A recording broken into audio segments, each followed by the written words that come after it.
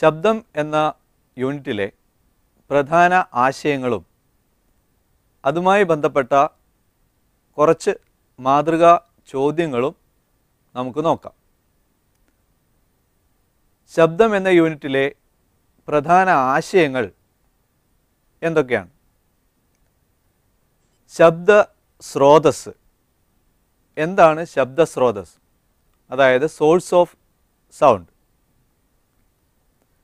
ശബ്ദം പുറപ്പെടുവിക്കുന്ന വസ്തുക്കളാണ് ശബ്ദസ്രോതസ്സുകൾ. എങ്ങനെയാണ് ശബ്ദം ഉണ്ടാവുന്നത് വസ്തുക്കൾ കമ്പനം ചെയ്യുമ്പോഴാണ് അതായത് വൈബ്രേറ്റ് ചെയ്യുമ്പോഴാണ് ശബ്ദമുണ്ടാവുന്നത്. അത്തരം വസ്തുക്കളാണ് ശബ്ദസ്രോതസ്സുകൾ.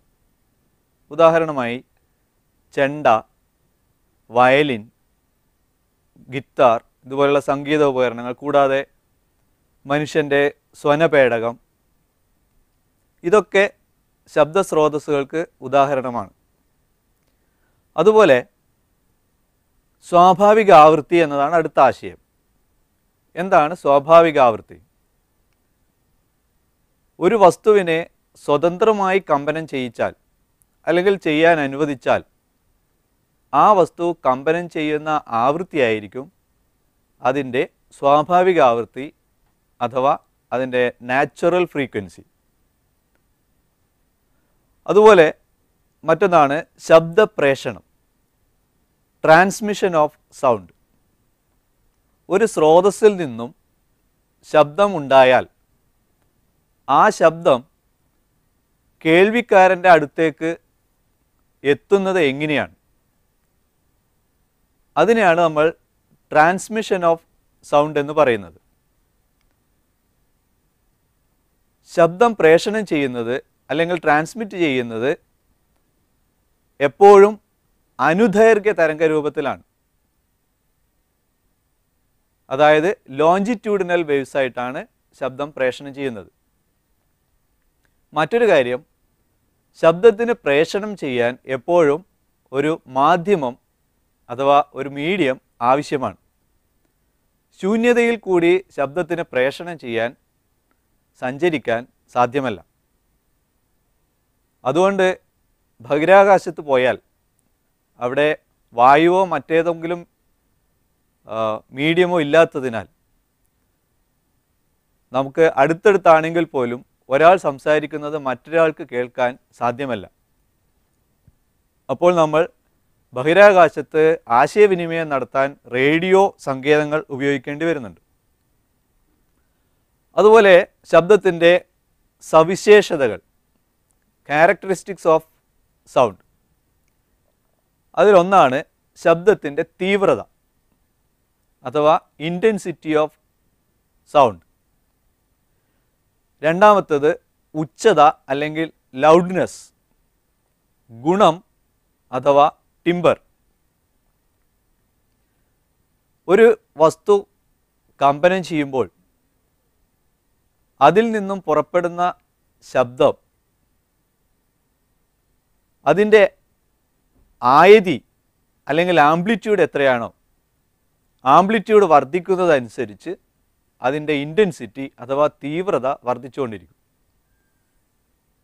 ആംപ്ലിറ്റ്യൂഡ് കുറഞ്ഞാൽ അഥവാ കമ്പനായതി കുറഞ്ഞാൽ അതിന്റെ ഇന്റൻസിറ്റിയും കുറയും. അതുപോലെ വസ്തുവിൽ നിന്നും അതായത് സ്രോതസ്സിൽ നിന്നും അകലേക്ക് പോകുന്തോറും ശബ്ദത്തിന്റെ ഇന്റൻസിറ്റി കുറയും. അപ്പോൾ എന്താണ് ഉച്ചത? ഉച്ചത എന്നത് ശബ്ദം കേൾക്കുന്ന ഒരാൾക്ക് അനുഭവപ്പെടുന്ന അനുഭവപ്പെടുന്നതാണ് ഉച്ചത.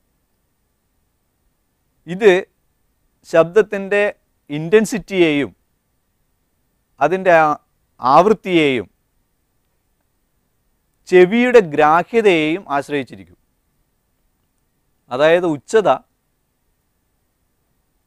intensity of sound frequency of sound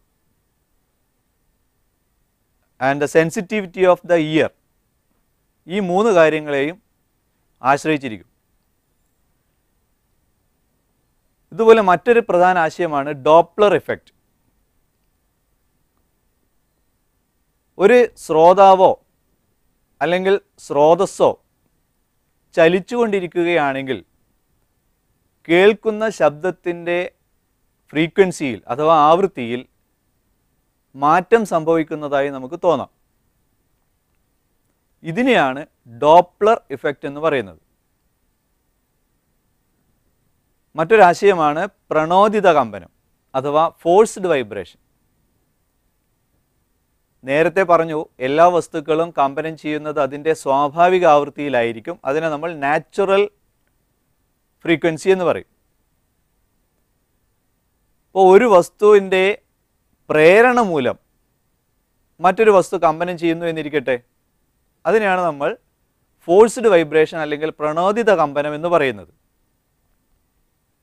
ഉദാഹരണമായി ഒരു ട്യൂണിംഗ് ഫോർക്ക് ഉത്തേജിപ്പിച്ച് മേശപ്പുറത്ത് വെച്ചാൽ ട്യൂണിംഗ് ഫോർക്കിന്റെ അതേ ആയതിയിൽ മേശയും കമ്പനം ചെയ്യാൻ തുടങ്ങും. ഇതിനെയാണ് നമ്മൾ ഫോഴ്സ്ഡ് വൈബ്രേഷൻ അല്ലെങ്കിൽ പ്രണോദിത കമ്പനം എന്ന് പറയുന്നത്.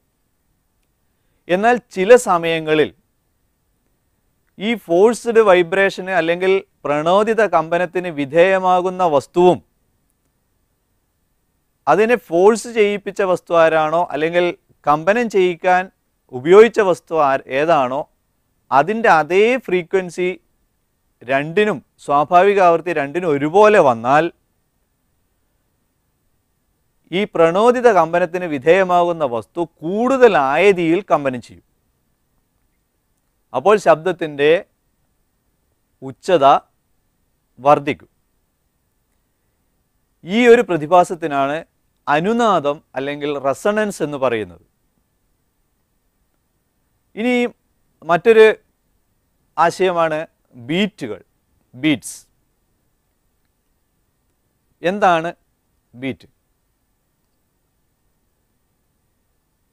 ആവൃത്തിയിൽ അല്പം വ്യത്യാസമുള്ള രണ്ട് ശബ്ദ സ്രോതസ്സുകൾ ഒരുമിച്ച് കമ്പനം ചെയ്യുകയാണെങ്കിൽ അവയുടെ ശബ്ദങ്ങൾ തമ്മിൽ കൂടിച്ചേരാനുള്ള ഒരു സാധ്യതയുണ്ട്. ആ സമയത്ത് കേൾക്കുന്ന ശബ്ദ ശബ്ദത്തിലുണ്ടാകുന്ന ഒരു പ്രത്യേകത. അതായത് ഒരു ഏറ്റക്കുറച്ചിൽ പോലെ തോന്നുന്ന ഒരു പ്രത്യേകതയാണ് ബീറ്റ് എന്ന് പറയുന്നത് അല്ലെങ്കിൽ ബീറ്റുകൾ. ഇതിന് രണ്ട് ശബ്ദ സ്രോതസ്സുകളും തമ്മിൽ ആവൃത്തിയിൽ ചെറിയ വ്യത്യാസം മാത്രമേ ഉണ്ടാകാൻ പാടുള്ളൂ. ഇത് ഒരേ സമയം ഈ രണ്ട് സ്രോതസ്സുകളും കമ്പനം ചെയ്യുകയും വേണം. എങ്കിൽ മാത്രമേ ബീറ്റുകൾ ഉണ്ടാവുകയുള്ളൂ. മറ്റൊരു പ്രധാന ആശയം